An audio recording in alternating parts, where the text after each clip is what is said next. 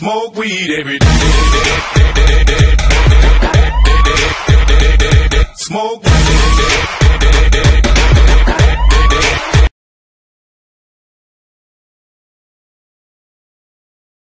Yo, what's up guys? This is going to be my seventh tutorial my CFW tutorial series and in this tutorial I'm going to show you how to disable the Cinavia pirated movie block on 3.55.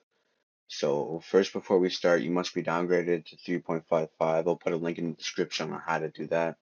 If you're already on a Rebug firmware you don't need to do this tutorial because Rebug already supports this feature in their firmwares but if you're going to switch firmwares and want Cinavia disabled in all firmwares do this tutorial.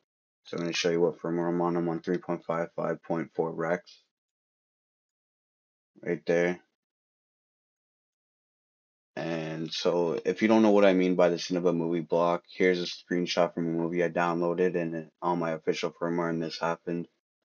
So what Cinavia does is disables the audio from your movie because your PS3 has detected as a pirated movie.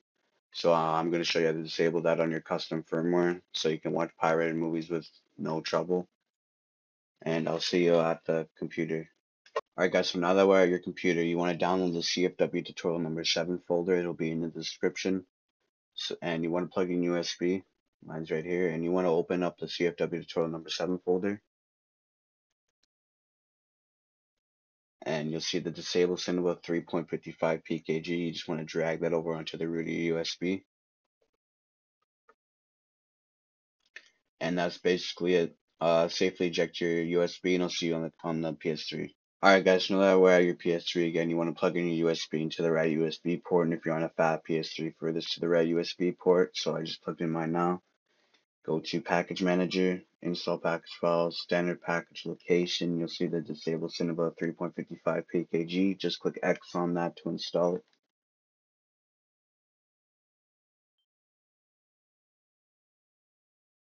And there you go, it installed, so it'll be right here. Just click X on it.